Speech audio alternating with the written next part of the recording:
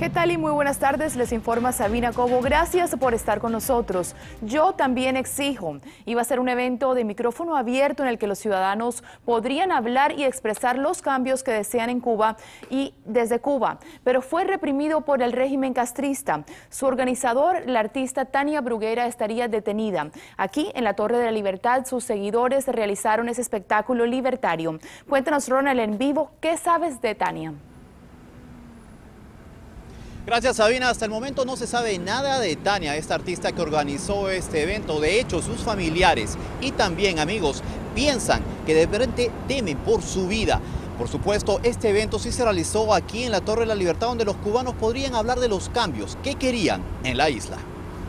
Que se sepa dónde está Tania Bruguera. Audaz, peligroso y hasta suicida. Se calificó el proyecto de micrófono abierto de la artista plástica Tania Bruguera, denominado Yo también exijo, que iba a ocurrir nada menos que en plena Plaza de la Revolución en Cuba, hoy a las 3 de la tarde. Pero al parecer la galardonada Tania habría sido arrestada e incomunicada por más de 12 horas. Sí, sabemos que hay muchas personas arrestadas en este momento, sabemos eh, que miembros de la oposición y de la sociedad civil están bajo arresto o están en sus casas amenazados con que si salen irán eh, directamente eh, a prisión. No podemos hablar con Tania desde las 3 de la mañana, nadie tiene contacto con ella, ni tan siquiera sus familiares. Ya a las 10 de la mañana han comenzado unas redadas de arrestos.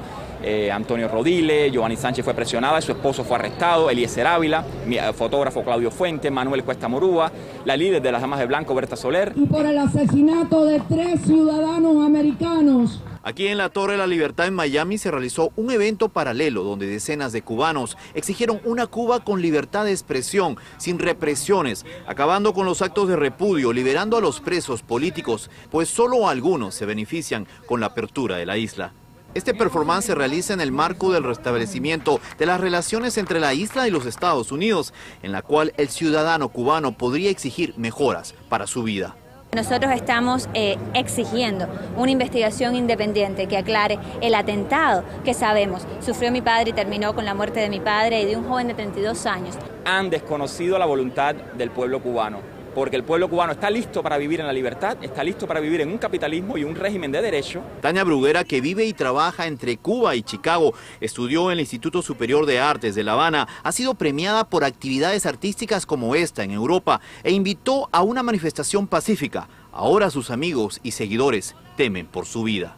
Tememos por eh, todos los que están detenidos. De hecho, Tania se encuentra eh, desaparecida en este momento. Reinaldo Escobar se, encuentra desaparecido. José Díaz Silva, delegado del Movimiento de Democracia que yo presido, está preso en este momento. Hay muchos presos en Cuba. Bueno, y decirte que lo importante de este evento, si bien no se realizó en Cuba, es que obtuvo más de 4 millones de tweets, por lo cual piensan sus seguidores de Tania que esto fue